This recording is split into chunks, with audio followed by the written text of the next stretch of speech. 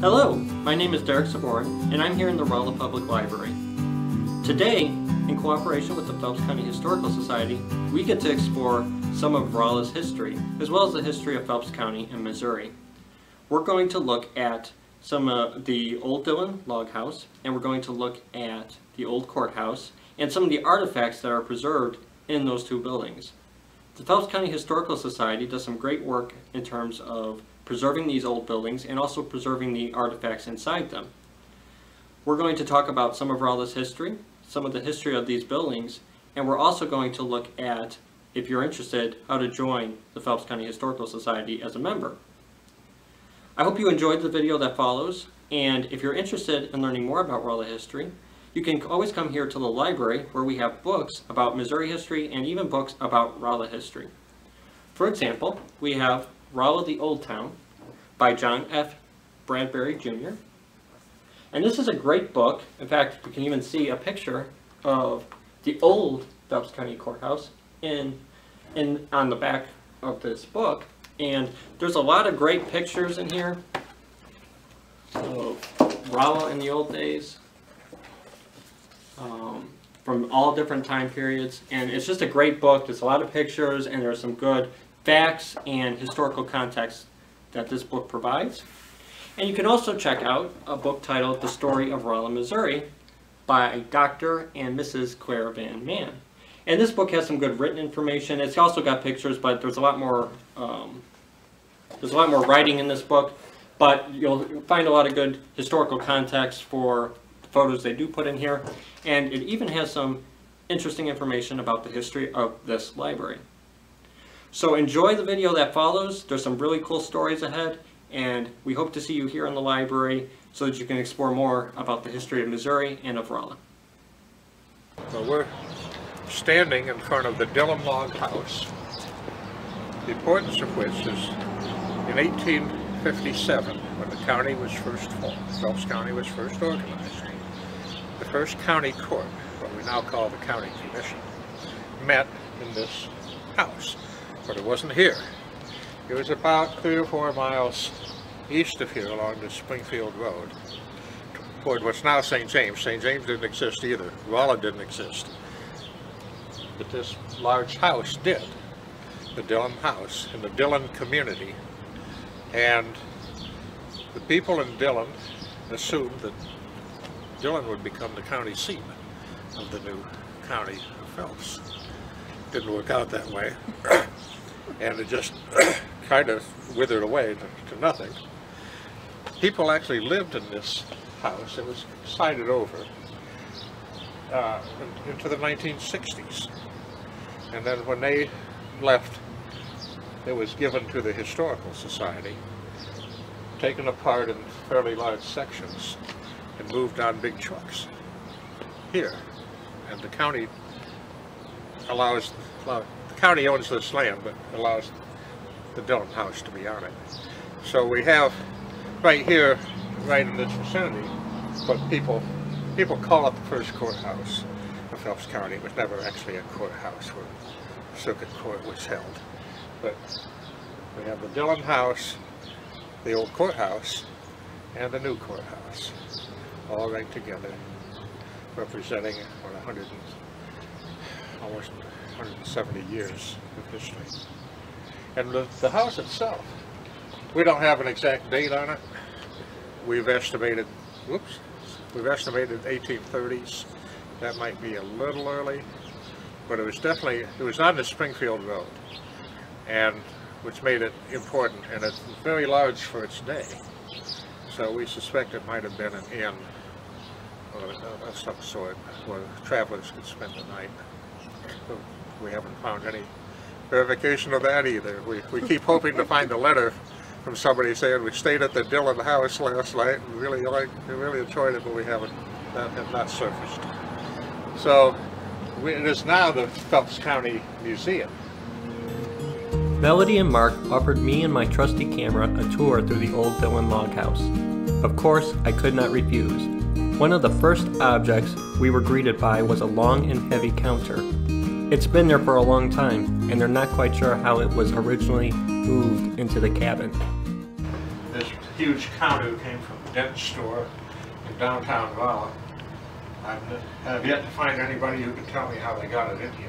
This whole, this big Wow. counter. Yeah, it's all one piece in Yeah, here. it's all one piece. So we're kind of thinking when they Maybe they built the it over, they built it around it. Yeah, maybe they built the, yeah, rebuilt the cabinet around it, I don't know. but we don't know. It's amazing. Each room in the cabin had a selection of artifacts representing Missouri and Rolla history.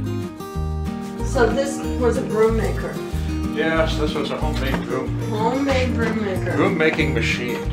Yeah, And it's not quite a working order, but not too far off. no, it, it could be. It's pretty cool. The guy who had it, he, he it right up. Uh, So that, that would make, this would make uh, brooms, huh? Uh-huh. Yeah, That's yeah, amazing. he could actually make, They cut the actually make, flax into length and then it, there's one on there. yeah, you put a, Put a handle on it and then it shows where it would tighten the and that way, wire. there's the wire would Here's come out the of there, and you can cut the wire and bind it around. One Just- guy in his barn, I mean, and you go to him for brooms.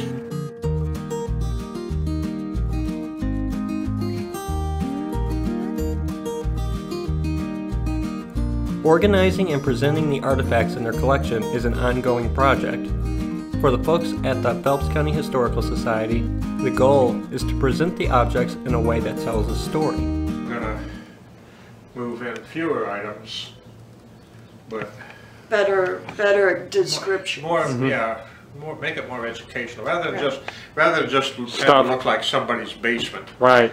We want it to be an educational experience. Right. Some of the artifacts also have some interesting stories in and of themselves. One such example is that of the gravestone nicknamed Tombstone Fred. Tombstone, and that, we're not gonna have it for much longer. We deciphered the name on it. It's Henry Boyer. Mm -hmm. And so we checked with the Genealogical Society, and they said that he's buried in Rolla Cemetery, but his stone is missing. We said, well, it's not We got missing, the not missing stone. anymore. So So, we contacted the city. The city owns the cemetery. And they will come and get it and reset the stone. They knew that he was there. They had a record of it.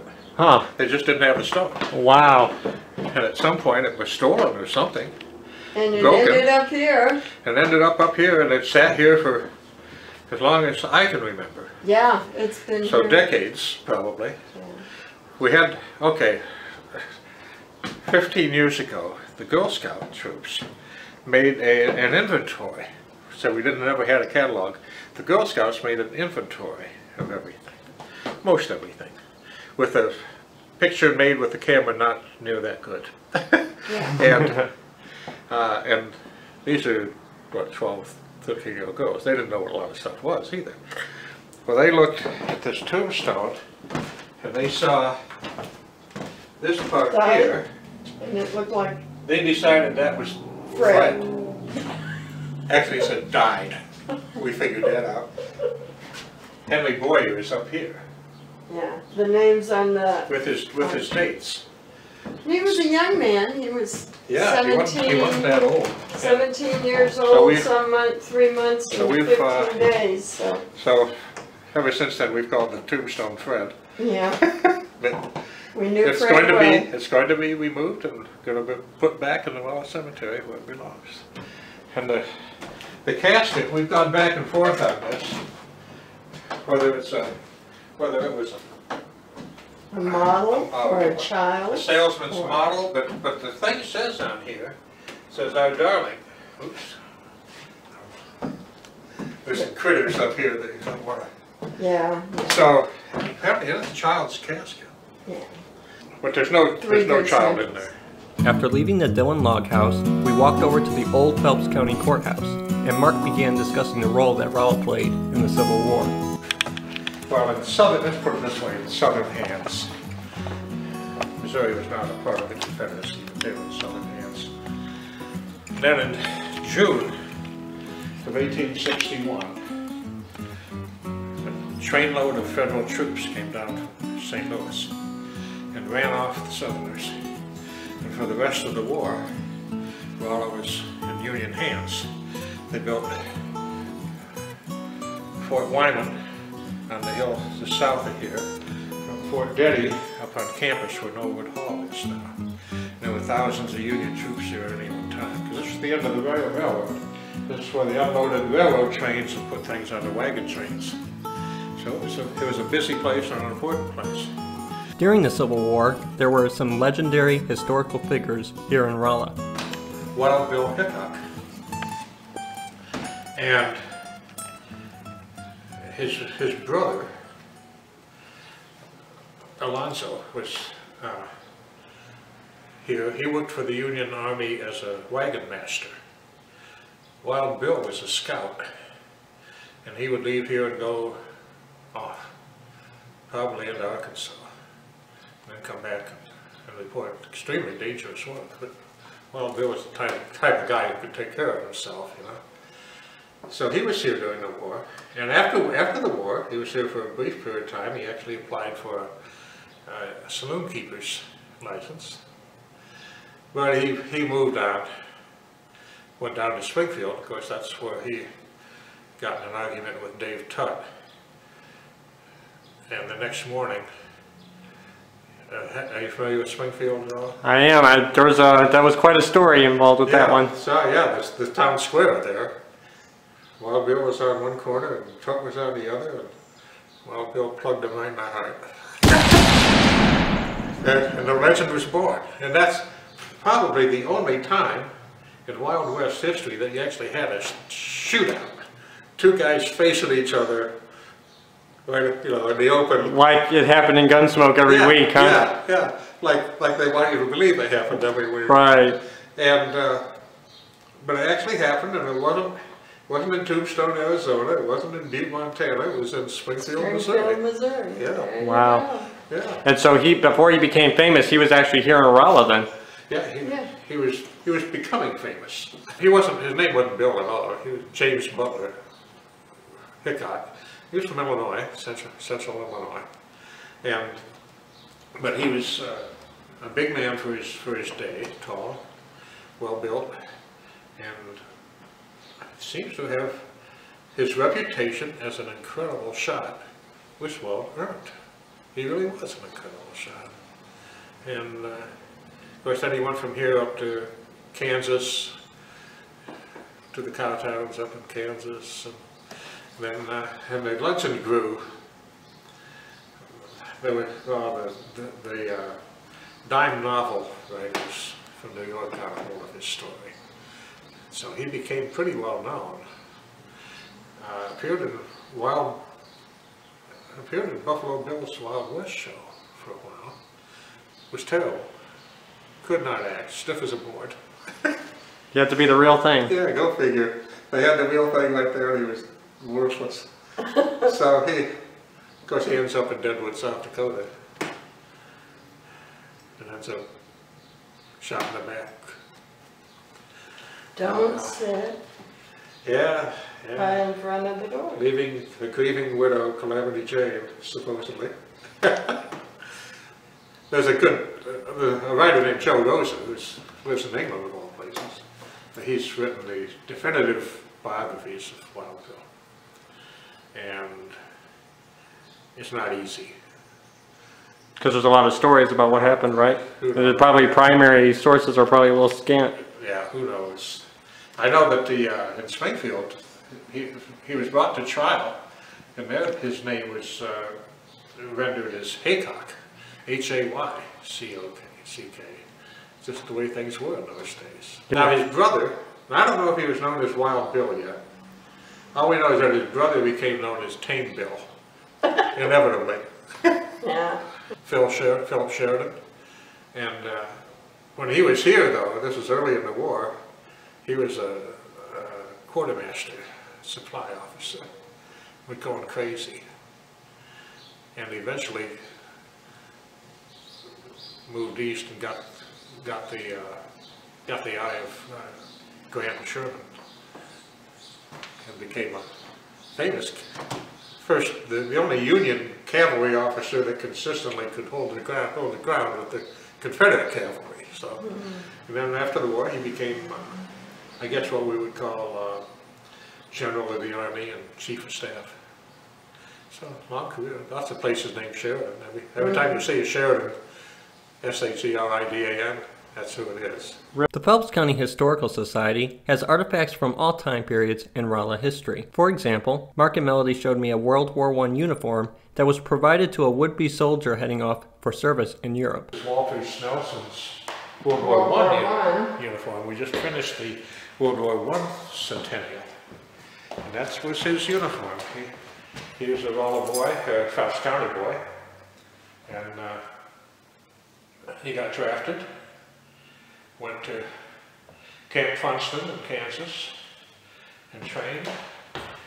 And probably to his great benefit, the war ended. Quickly. And what year did he, uh, But, huh? do you know what year he went, he went in overseas? Well, he went in and my, he never went overseas. Oh, wow, okay, that's nice. Yeah, he never went overseas. He would have gone into service in 1917 and then came out in 1918. But this is his actual uniform. Wow. Now, two years ago, we, we found where St. James and Newburg wrote letters home, and the newspapers printed the letters from the soldiers.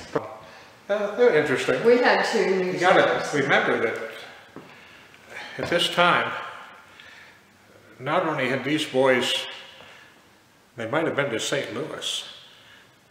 Now they're in Paris, France. Yeah. What a huge change in about a year Yeah, for them. yeah. But this, this is kind of faded now. Supposedly, this picture, this is the last group of draftees. They're in front of us now, the library, where was at the post office. And supposedly, the, the, of course, railroad is just a block away. Supposedly, they were lined up to get on the train, they got the word, no, never mind. The war's over. The war's over. Preserving the historic buildings and artifacts that are related to Rolla history and presenting them in a way that is beneficial to the community requires both the interest of the public and financial support. If you are interested in joining the Phelps County Historical Society, Melody explains how to sign up. As you know or heard from Mark's conversation, that the Phelps County Historical Society is self-funded.